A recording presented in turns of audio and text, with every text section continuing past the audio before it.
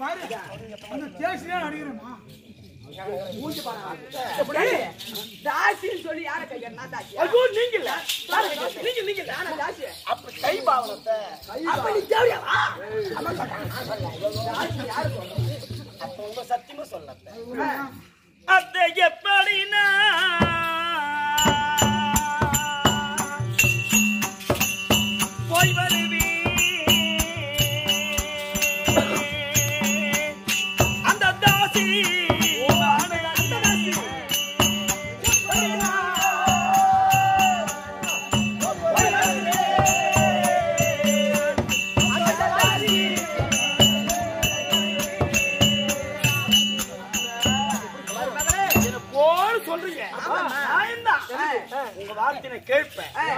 நாங்க போவேன். என்ன பாக்கிட்டேங்க அழைப்பா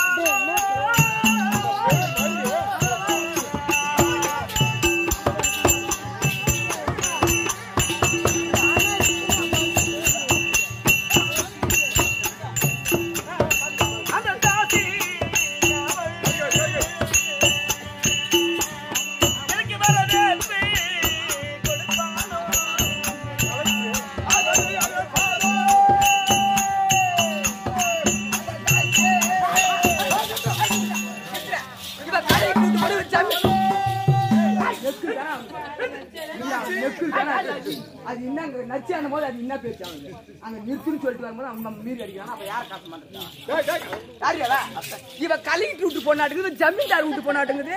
இவ தாசி மாணிக்கு போனோட வான்னு கூப்பிடுவாரு வரவேற்பு. பூ வெத்தர பாக்கு பூ வச்சு தேங்காய் கட்டி வச்சு ஆச்சோட உங்களை மாரி நான் அவசரப்பட்டு நான் எதையும் செய்ய முடியாது. நான் என்ன சொல்றேன் முழுமையா காதல கேட்ட சொல்லு. சொல்லு. சொல்லு. வரவேற்பு அவன் தாசி விட்டு போனா? சொல்லுடி. என்னை வா வென்றங்களை பாலோ.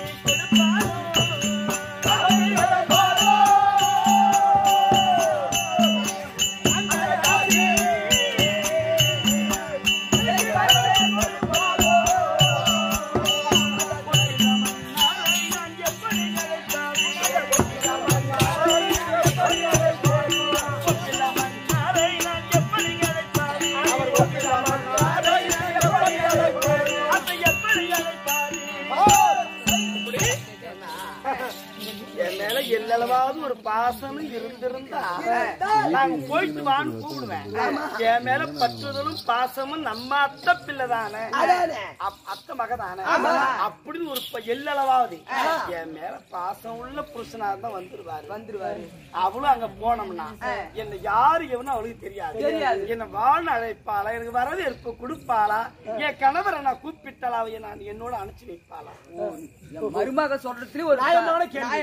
அதனால அம்மா. என் கூட ஒரு அரை மணி நேரம் ஒரு பத்து நிமிஷம் இல்ல அஞ்சு நிமிஷமாவது என்னோடு அன்பான நாலு வார்த்தை பேசிட்டு போன மன்னவரா இருந்தா பரவாயில்ல.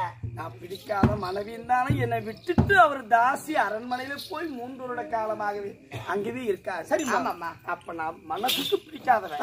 நான் போய் கூப்பிட்டா வருவாரா. இப்ப மகன் வருவதற்கு ஒரு ராஜதந்திரம் மகன் மருமகள்கிட்ட சொல்லி அனுப்புங்க. ஆமா. எப்படி என்றால்? எப்படி என்றால் இப்பொழுது நீ தாசிமான போன உடனே என்ன தெரியுமா சொல்ற? உங்க அப்பாவுக்கும் அம்மாவுக்கும் என்ன சொல்லணும்? உங்க அப்பாவுக்கும் அம்மாவுக்கும் மூன்று வருக்காத மக மகனை பார்க்காத ஏக்கத்தினால். மகனை பார்க்காத ஏக்கத்தினால் உயிர் போவதும் கொண்டிருக்கிறது. உடல்நிலை சரியில்லாமல். உயிர் போவதும் வருவதுமாக. மூன்று பேருக்கும் மகனை பார்க்காத ஏற்கத்தினால் உயிர் போவதும் வருவதுமாக ஊசலாடி கொண்டிருக்குது.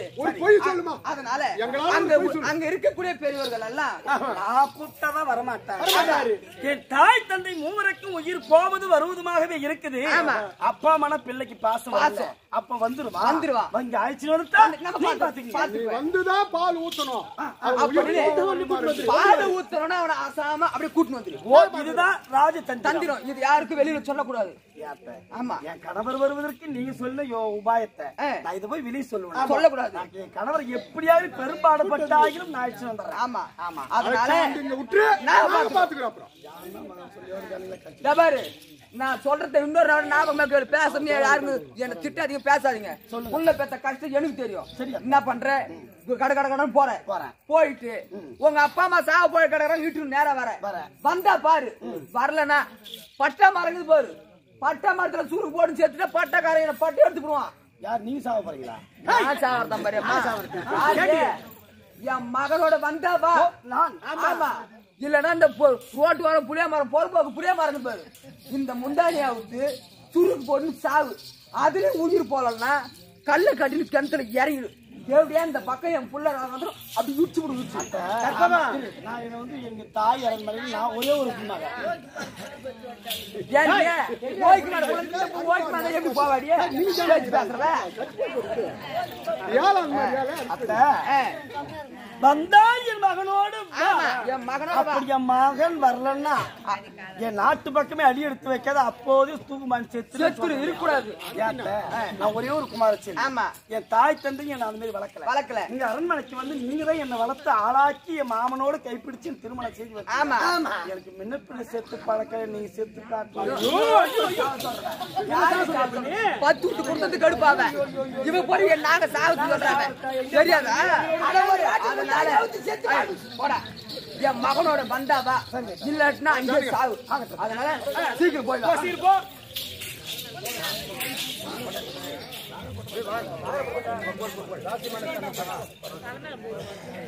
ஐயா அம்மா.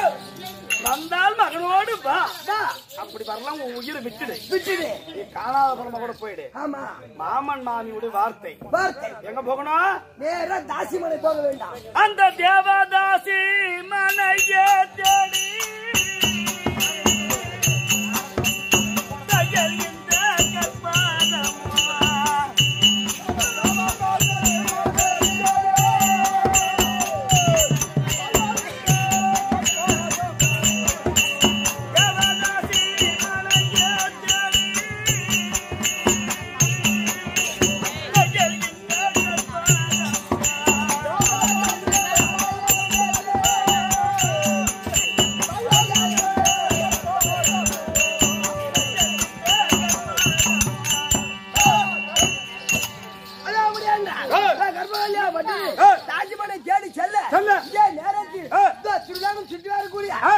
மகாபலியாக பட்டுவார் கடவுள் எங்கே கிடைக்கவில்லை என்று. கர்மவனை தேடி வருகிறார். இது அந்த ஒரு நாள் கிடைத்து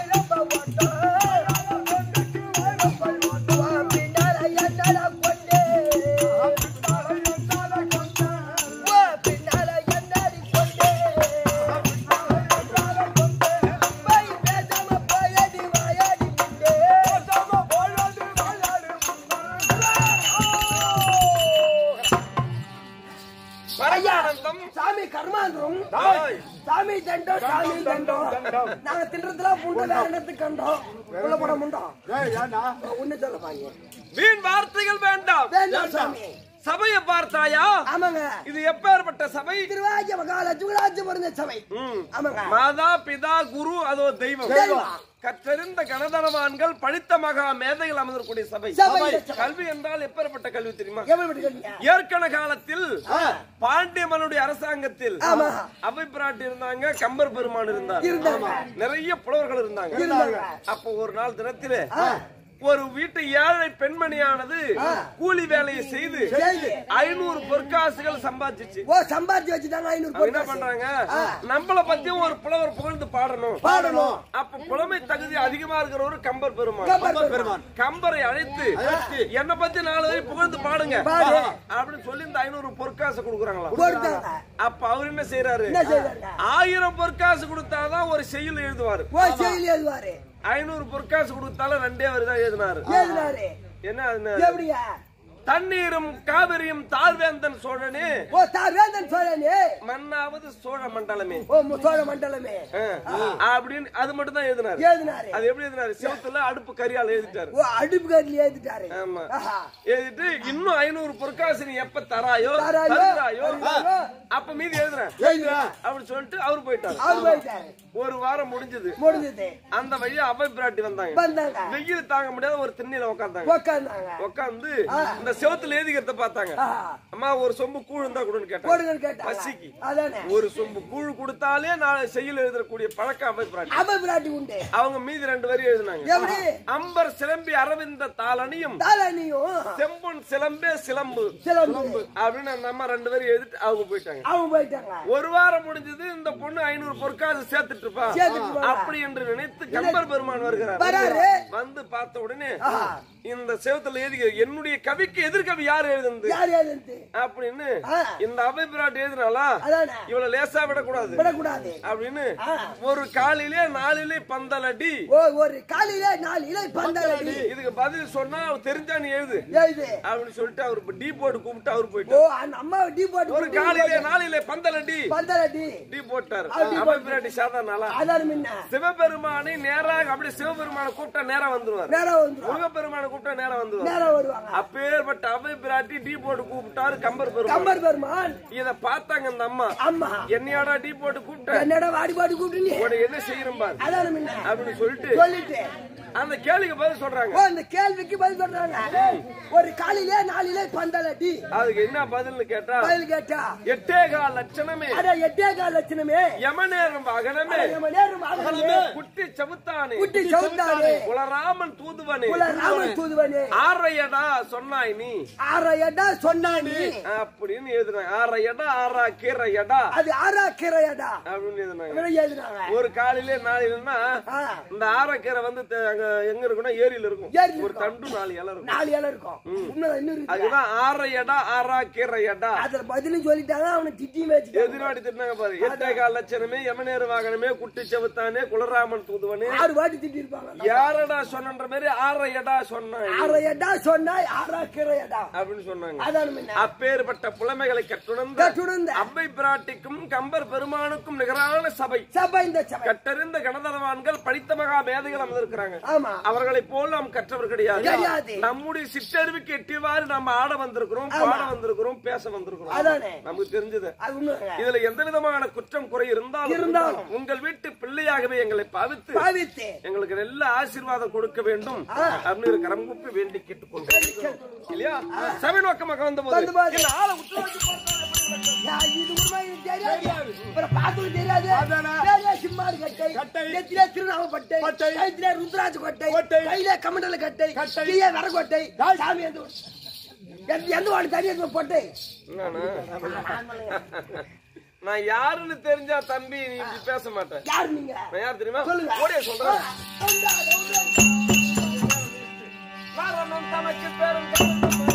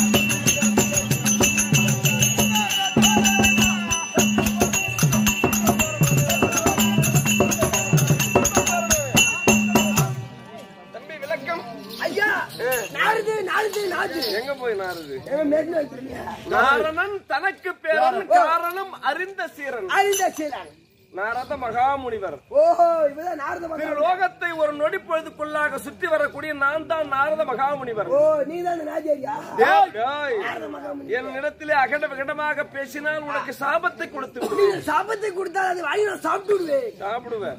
சாபம் சாப்பிடுற பொருளா? பின்ன திருமூர்த்திகளையும் விட்டதில்லை சாபம். ஓ சாதம் திருமூர்த்தி விட்டது கிடையாது. ஆமா. அப்படி. நான் அப்ப நான் எங்க நான் யாருக்கு பிறந்தேன் என்ன கேட்டா? திரு லோகத்தை ஒரு நொடி பொழுதுக்குள்ளாக சுற்றி வரக்கூடிய நாரதன் சொன்னேன் இந்த தேவர்கள் அனைவரும் ஒரு கூட்டு ஓ இவங்க எல்லாம் ஒரு பூட்டு. இந்த நாரதன் ஒரு சாவி. ஒரு சாவி. நாரதன் நாரதன் கட்டுப்பாட்டுல தான் தேவர் மூவர் யாவற்றமான பேர்களும். ஓ மொத்த பேருமே. என்ன எங்க நடக்குதுன்னு திரு லோகத்தை ஒரு நொடிக்குள்ள சுத்தி வந்து சுத்தி வந்து. அதை எங்க கொண்டு போய் அந்த விஷயத்தை சேர்க்கணும்? சேர்க்கணும். யார் யாரை என்ன பண்ணணும்? நாங்க எப்படியாவது அவங்க பொண்டாட்டி அவங்க கூட சேர்த்து நம்ம பொண்ணாடி ஆய். எல்லாத்தையும் கொண்டு வராங்க. அப்படி என்று அனைத்தையும் அறிந்தவன் முக்காலும் அறிந்தவன் நீங்க. ஓ நீங்க அறிந்த முற்றும் துறந்த மண் ஆசை பெண் ஆசை பொன் ஆசை பொருள் ஆசை. அனைத்தையும் துறந்த மகா ஞானி நான் தான். முட்டை முட்டை துறந்த நீ சொல்லுங்க. அப்படி இருந்தாலும். எங்க அப்பா யாரு எங்க அம்மா யாரு யாருக்கு நான் பிறந்தேன்? உங்க அப்பா உங்க அம்மாக்கு தான் பிறந்திருப்பேன்னு நினைக்கிறேன். நீ சொல்லுங்க. நினைப்பது போல. அயனாகிய பிரம்மதேவருக்கும் கலைவாணிக்கும் பிறந்தவன் தான் நாரதன் எல்லாரும் தெரியும். ஆமா பின்ன. ஆனா நான் கலைவாணிக்கு பிறக்கவில்லை. அவங்களுக்கு பிறகு எப்படி வேற யாருக்கு பிறந்தீங்க? யாருக்கு பிறந்தேன்? வேற யாருக்கு பிறந்தீங்க? அன்னையான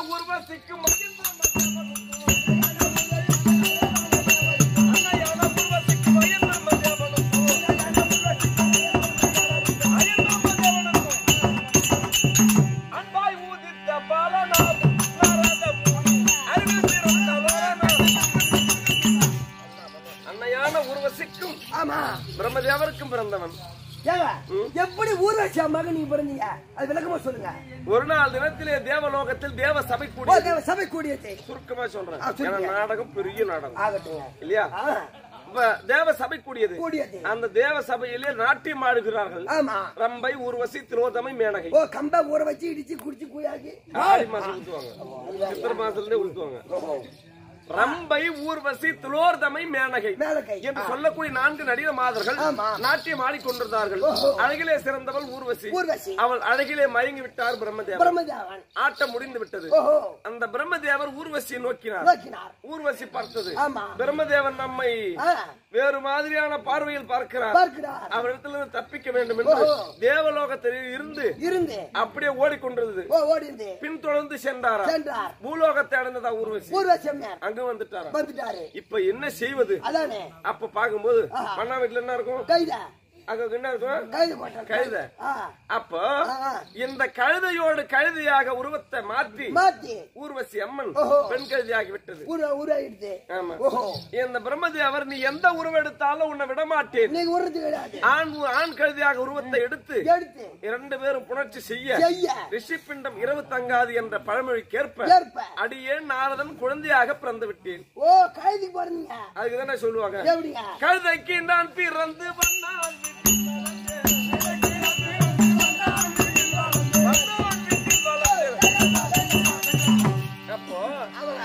பிறந்த உடனே அவங்க வேலை முடிஞ்சு போச்சு போயிட்டாங்க. அவங்க விட்டு அழைச்சு போயிட்டாங்க. நான் அழுதுங்கிறேன் அழுதுங்க. எப்படி என்னடா? கழுது கொட்டாயில பிறந்தாலும் கழுது மாரி அழுது ஏன்டா நீங்க? பின்ன பின்ன கைதிக்கு வந்து பின்ன கைதி குழந்தை எப்படி அழுகுண்டானா கழுது மாரி அழுது காட்டுற. அப்படி அது உண்டு. குங்குமம். அந்த வீட்டு வெள்ளானுக்கு குழந்தை இல்லை? திருமணமாகி நீண்ட நாட்களாகியும் பிள்ளை செல்வம் இல்லை. கிடையாது. என்னடா குழந்தை சத்தம் கேட்குது? அதானே. அப்படின்னு ஓடி வந்து பார்த்து. என்னை தூக்கி நல்ல முறையாக எடுத்து வளர்த்தான் எடுத்து வளர்த்தா. எனக்கு ஒரு ஐந்து வயதாகுது. ஓ, அலை புட்டி போட்டு வயசு உங்களுக்கு அது வரைக்கும் எனக்கு பேர் வைக்கல. எனக்கு முத முத என்ன வளர்த்த வண்ணம் வச்ச பேர் என்ன தெரியுமா. நான் கலகக்காரன் கலகக்காரன்.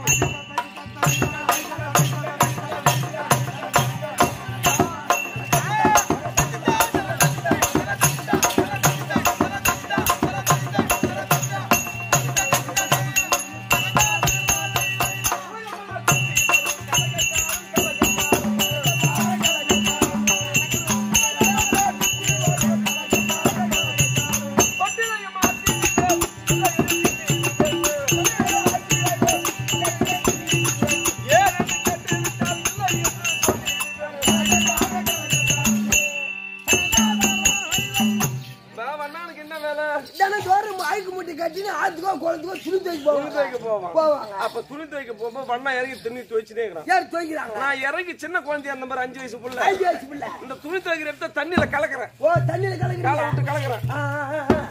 இந்த துணி துவைக்க விடாத தண்ணி இப்படி கலக்குறிய? கலக்குறியே? சரியான கலகக்காரன்டா நீ. ஓ அப்படின்னு சொல்லிட்டு.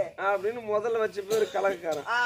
அப்பவே சொன்ன ஆட்டுக்கு வரும்போது இந்த மூலட்டு அடியில அங்கேயே இறங்குனீங்க நீங்க. இறங்கும் போதே சொன்ன தண்ணி அதிகமா கலக்காதீங்க போதை ஏறாது. கம்மியா கலங்குன்னு கூட சொன்ன நீ கேட்கல ஏங்கிட்ட இப்ப அதிகமா கலந்து நீ வாங்கி கொடுக்குற ஆளு நாங்க நீ அம்மா கவடத்தை செலவு பண்ற ஆளு இல்ல.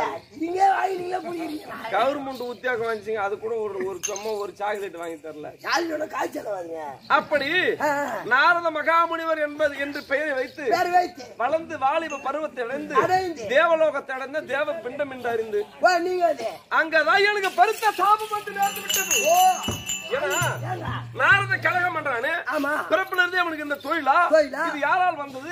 எப்படி? எப்படி சொல்லுங்க நிறைய பேருக்கு தெரியல. அலாரம் என்ன யாருக்கு யாரு கலகம்? நான் நல்லவனா தான் பிறந்து வளர்ந்தேன். ஓ பாருங்க ஆனா என்ன கலகம் பண்ண வச்சது யாரு தெரியுமா? யார் யாருங்க?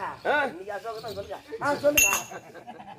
வா, நீ சொல்லு பாரு, கம்முனு. யாரால் எனக்கு இந்த சாபம்? யாரு சொல்லுங்க? தக்கன் சாபப்பாடி ஒரு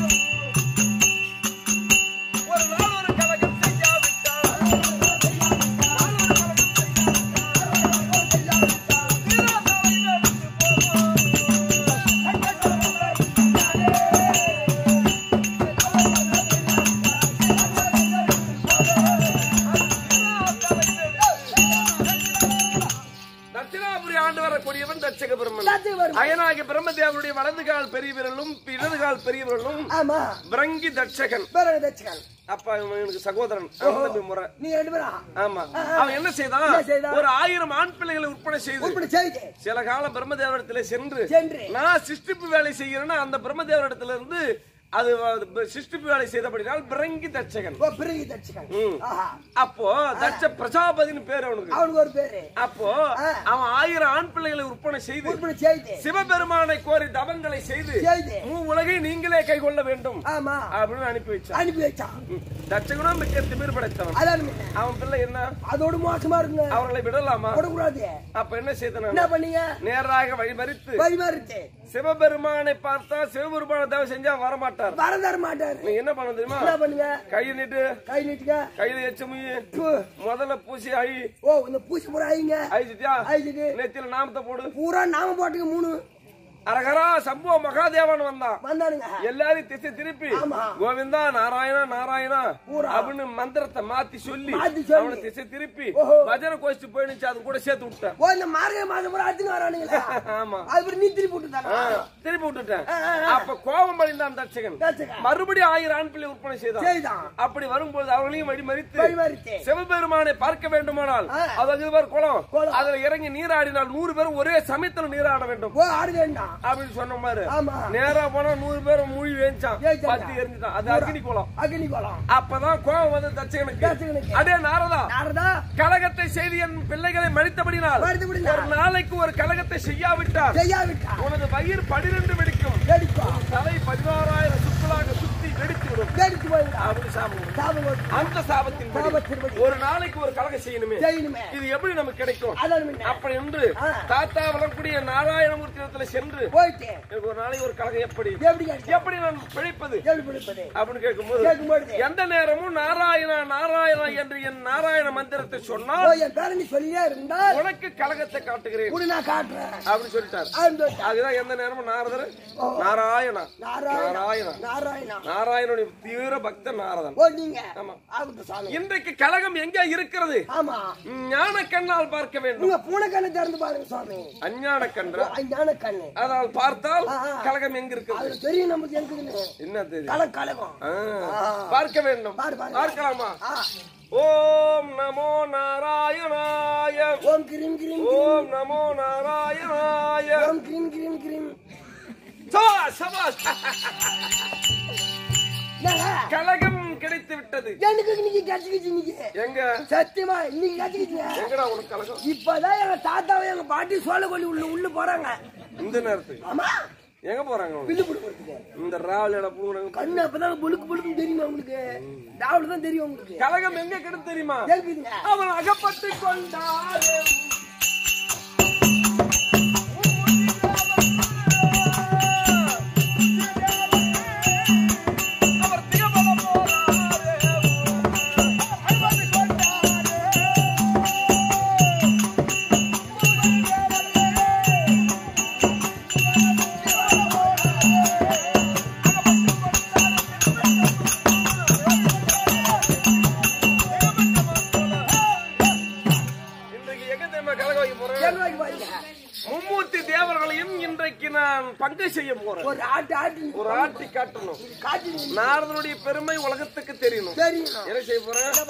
அதோ ஜெயமாபுரி பட்டணத்தை ஆண்டு வரக்கூடிய ஜெயச்சேன மகாராஜனுக்கும் ஜெயமாலினிக்கும் பிறந்தவர் சாந்தசீலன். சாந்த சீலா சாந்தசீலன் மனைவி ஜெயமாலினி. கற்பகவல்லி.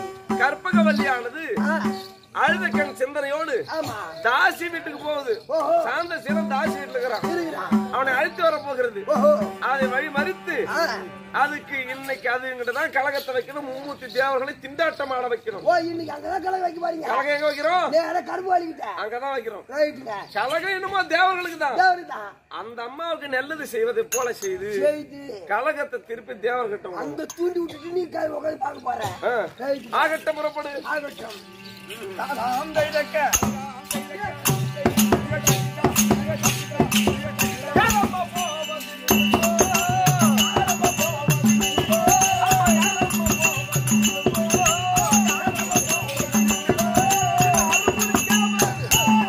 யாரும்மா? எங்க போறீங்க? யாரும்மா? யாரும்மா ஏன் அழுதுகிட்டே போறீங்க எங்கம்மா போறீங்க யார் நீங்க தன்னந்தனியா போயிட்டு என்ன வழி மறிச்சு நீங்க யாருமான்னு கேக்குறீங்க? நீங்க யாரையா எந்த ஊரையா?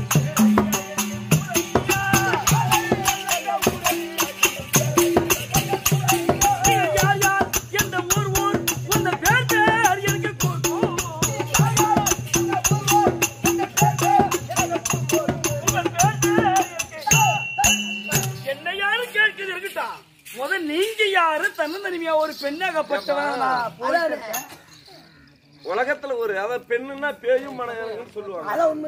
ஒரு அழகான பெண்மணியும் பார்த்தா குடும்பத்து பெண் மாதிரி இருக்கிற நீ அழுத கண் சிந்தனையா போற என் மனசு கேட்காததா எங்கம்மா போற அழுதுன்னு குடும்பத்து எதனா பிரச்சனையா சண்டையான்னு கேட்கலான்னு தான் வழிமறிச்சு.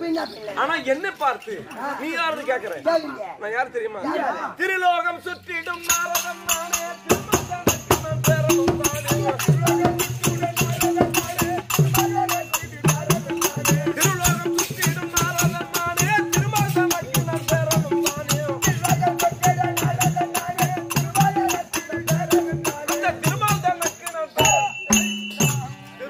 சேர்ந்து ஒரு நொடி பொழுதுக்குள்ளாக சுற்றி வரக்கூடிய தேவத்தந்து நாரத மகாமுனிவர் நான் தான். நாரத மகாமுனிவர்? மகாமுனிவர்.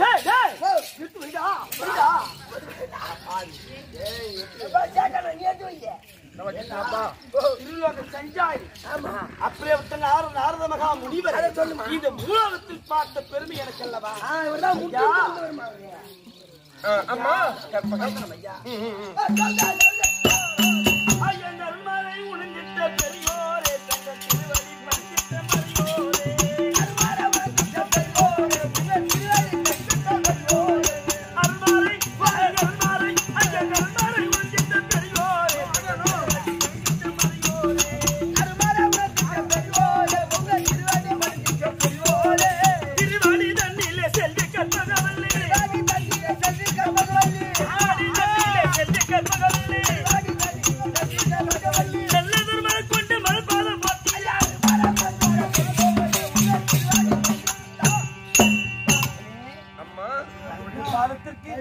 நான் ரொம்ப பாக்கியம் புண்ணியம் செய்தவன் ஆகட்டும் அம்மா. உலகத்திடமார்க்கமாக உங்களை பார்த்தது மனமகிழ்ச்சி. ஆகட்டும். கற்பகவல்லி அநேக வந்தனம் ஐயா. ஆகட்டும் தாயே எழுந்துரு. அம்மா. ஐயனே. நீ வந்து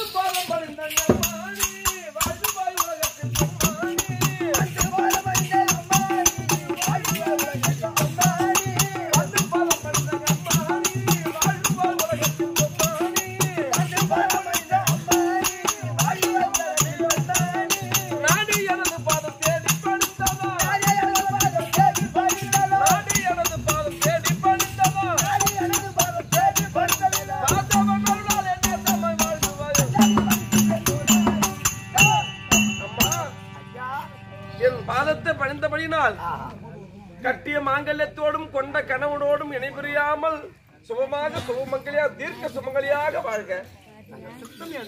ஆகட்டும். எங்கே போகிறீர்கள்? அதுக்கு சிந்தனையாக. எங்கம்மா போறீங்க? என் கொண்ட கணவரை நான்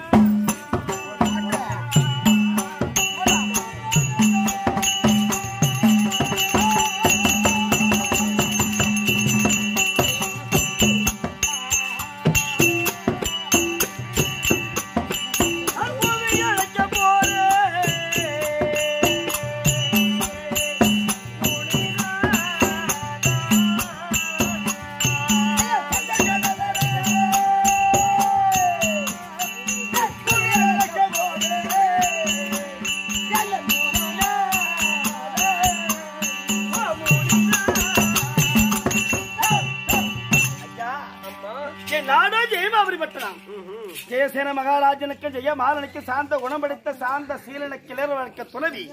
அவருக்கு நான் மனைவி. திருமணம் செய்த நாள் முதலாகவே மூன்றாண்டு காலமாகவே தாசி அரண்மனையிலே வந்திருக்கின்ற என் பதியன மன்னவர் என் மாமன் மாமியுடைய கட்டளைப்படி. படி. என் கணவர்